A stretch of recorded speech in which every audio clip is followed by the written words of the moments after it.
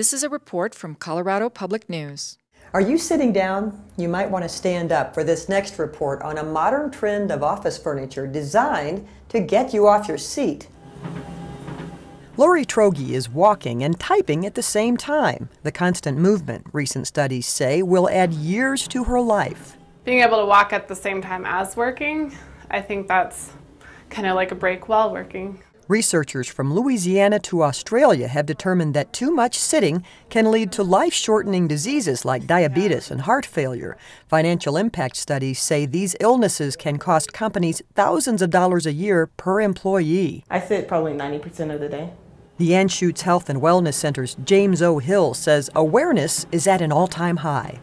What we need to figure out is how do we break up those periods of sitting or reduce those periods of sitting. Surprisingly, exercise before or after work does not erase the damage done after a full day of sitting around. Now I can sit here and not lean over, which is nice.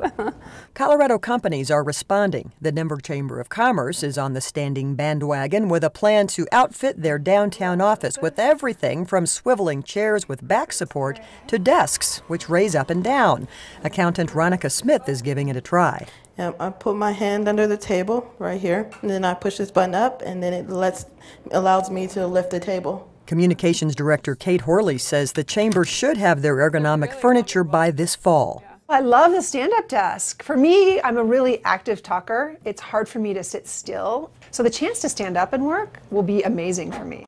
Go to lunch. Hill dreams of a day when the movement movement becomes the norm, starting with children. Every kid at school should have a desk that allows them to stand up rather than sit. Carol McKinley, Colorado Public News.